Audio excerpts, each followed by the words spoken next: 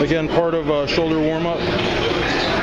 Only 10 pounds, but uh, that's exactly what you need. Get some blood in the muscle and get ready for your working sets.